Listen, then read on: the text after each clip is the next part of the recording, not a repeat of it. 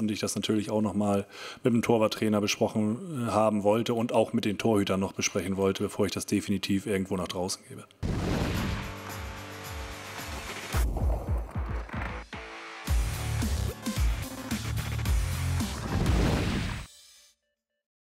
Ja, wir haben das besprochen im Trainerteam, auch mit den Torhütern besprochen. Wird so sein, dass Pavlas im Tor steht. Pavlas ist die Nummer eins bei uns, auch in beiden Wettbewerben.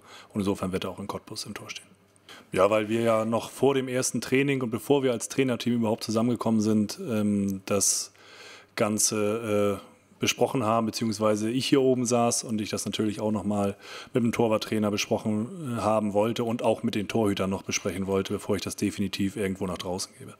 Ja, gibt immer mehrere Argumente und man versucht natürlich auch immer irgendwo ähm, ja, alle zufriedenzustellen, soweit das möglich ist. Ist im Fußball aber manchmal nicht möglich. Du musst Entscheidungen treffen. Wir wollen dort einfach eine gewisse Klarheit haben auf der Position und auch wenn wir jetzt vor der ersten DFB-Pokalrunde stehen. Du weißt auch nie, wie lang so eine ähm, DFB-Pokalrunde geht und du dann vielleicht auch mal in Situationen kommst, wo du dann vielleicht auch jemanden reinstellst, der dann ganz lange nicht gespielt hat ähm, weil du dich vielleicht vorher schon festgelegt hast. Und das sind dann eben Situationen, die man in der Vergangenheit oder die ich auch in der Vergangenheit schon mal erlebt habe, mit denen ich einfach keine so guten Erfahrungen gemacht habe.